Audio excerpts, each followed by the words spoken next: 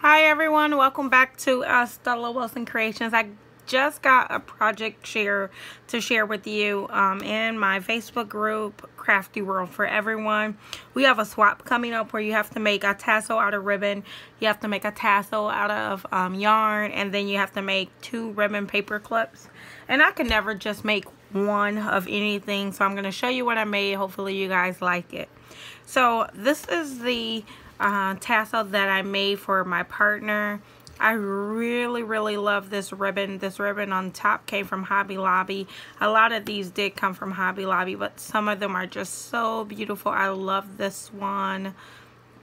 Um, it has this one underneath. Um, this one's more blue with some whites and then this pink in there with a tint of pink.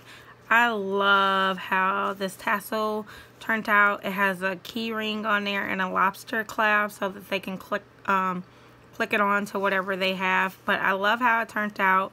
It's super pretty.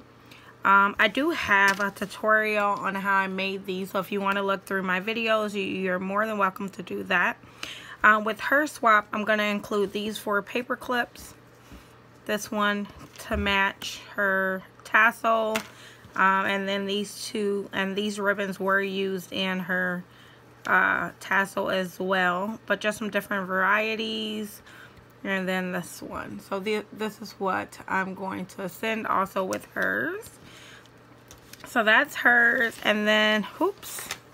And then I made this for myself. So I got this one and I put this beautiful ribbon on top. It's kind of like a blue gold theme.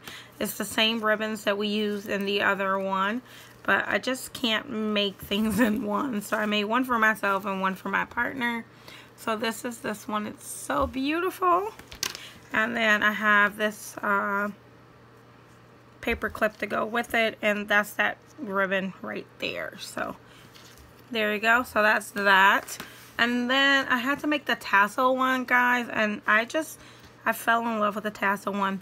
I don't know if you can see this, but it's kind of gray, but it has like purple and blues and kind of like just like pretty summer colors in it.